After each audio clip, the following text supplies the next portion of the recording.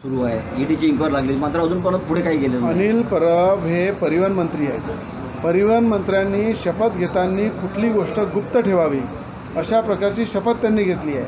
आणि ते स्वतः सांगतात की उद्धव ठाकरेंनी हा निर्णय चांगला केला की सगळ्या शिवसे शिवसैनिकांना नारायण राणेंच्या घरावर जाऊन आंदोलन करा म्हणून सांगितलं कायदा तोडाचं सांगितलं. असं जर अनिल परब एक राज्याचे शिवसेनेचे मंत्री सांगतात तर मला असं वाटते कुठंतरी त्यांनी कायद्याचा विसर पडला आहे आणि ईडीची इन्क्वायरी हे अनिल परवर चालू आहे. आज ईडीच्या घेरावामध्ये अनेक शिवसेनेचे मंत्री आमदार आहेत.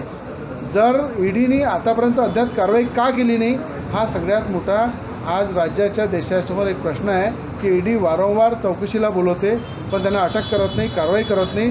धनाढ्य संपत्ती दोन नंबरचं ज्यांनी काम केलं आहे ज्यांनी भ्रष्टाचार केला आहे त्यांनासुद्धा ईडी ताब्यामध्ये घेत नाही जेलामध्ये टाकत नाही.